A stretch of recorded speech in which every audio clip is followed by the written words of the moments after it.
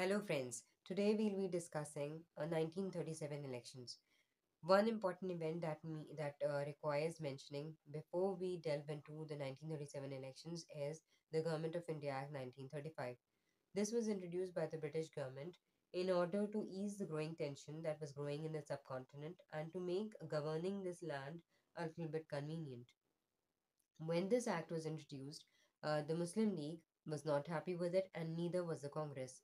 Uh, Nehru of the Congress, you know, he claimed it as the charter of uh, slavery, uh, whereas Jinnah had uh, talked about it as thoroughly rotten.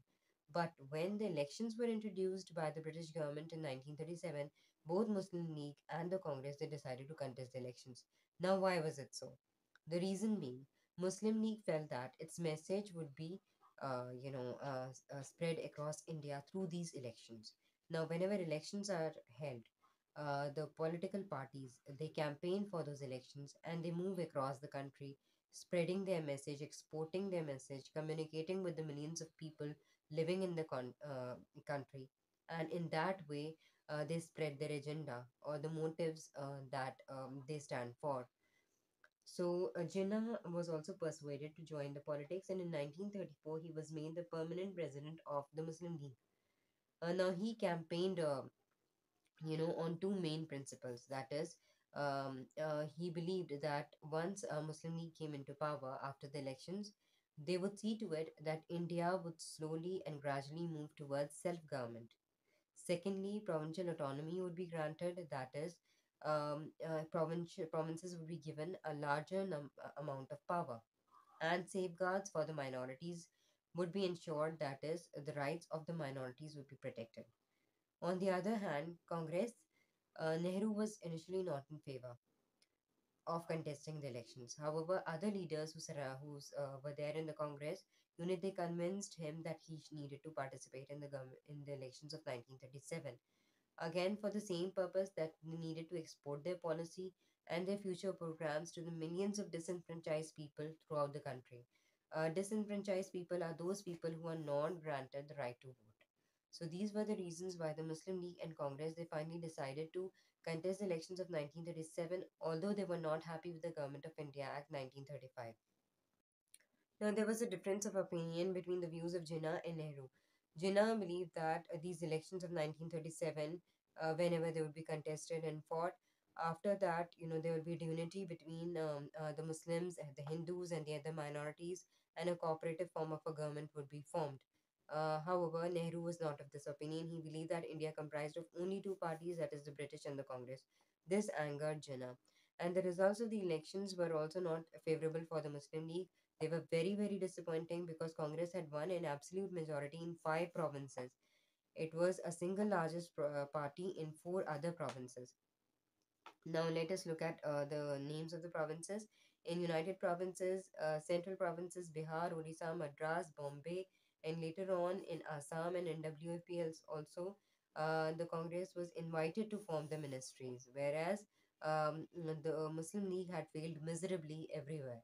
If you talk about you know provinces uh, that were Muslim majority provinces like Punjab um, and uh, eh, Sindh and Bengal, even in those although uh, you know they were muslim majority areas but muslim league had won only 109 seats out of the 482 seats that were reserved for the muslims you have to keep in mind that these elections were contested on the basis of separate electorates meaning the muslims were given the right for separate electorates. However muslim league had been defeated by the congress. And uh, um, here uh, let's also understand the concept of uh, you know winning an absolute majority and winning uh, and being the single largest party like how we discussed earlier that congress was an absolute won an absolute majority in five provinces and it was the single largest party in four others. Now what is the difference between being an absolute majority in a single largest party? Let us look at an example okay? It's only an example just to make you understand okay? So keep in mind that it's an example. Supposing if in a house there are around 250 total number of seats okay? So this is the total number of seats. And the number of seats that were required that are required to win the elections are uh, 150 140 let's say okay? So these are the total number of seats that a party has to has to must must uh, win in order to uh, form the government now uh, let us suppose this is case 1 This is the absolute majority case. And in this case, uh, there's party A, and party A wins around 150 seats.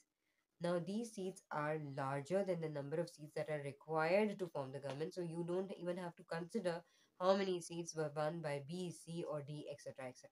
Okay, so it's uh, it's very um, uh, uh, you know obvious that Party A will be forming government in case one. So it has won by absolute majority. This is an absolute majority case, right? Now let, let us look at case two. In case 2, let's give the same scenario. In the house, there are 250 total number of seats, and 140 is the total number of is the uh, required number of seats for winning uh, and uh, for forming the government. Okay. In this case, A has won, let's say, around 100 number of seats. B wins 80, and C, let's say, 60, and D wins none. Okay. So in this case, none of the parties have won a number of seats equivalent to form the government. So what will happen here is we look at the party that has won the maximum number of seats and it's A. So A here is the single largest party. Okay, so this is difference between winning in majority and being the single largest party. When we say Congress was the single largest party in four provinces, so this was the scenario there. Okay, that Congress had won the maximum number of seats out of the other, uh, uh, you know, in comparison to the other uh, parties that were contesting elections. Okay, and in this case, that is in case two, uh, uh, A will not be able to form the government obviously because it has not won um, the number of seats that were required. So you know it would negotiate with the other parties and form a coalition setup. Okay, I hope this is clear now. Okay, now let's go back to uh, where we were. Okay, now you usually get a question like, what were the lessons learned? Um, if you talk about Muslim League, Muslim League had uh, failed miserably.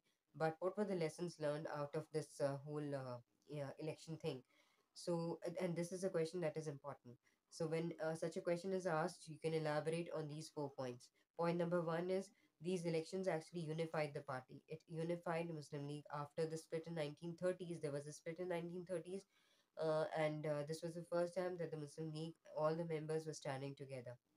Then it uh, secondly, Muslim League became aware of the whole election processing, uh, um, uh, and uh, it uh, also became aware that more planning and organization was required if it had to reach, you know, uh, the uh, nook and corner of uh, the entire country. And uh, thirdly, Muslim League uh, realized that it had more support in the Muslim minority areas rather than in the Muslim majority areas. The reason being the Muslims felt threatened in the Muslim minority areas and they needed more support. Whereas in the Muslim majority areas, they were not being threatened and therefore they did not feel that they needed to support Muslim League. And the fourth point was um, that it also exposed, these elections badly exposed that the Muslim League had an image problem. What was this image pro- problem?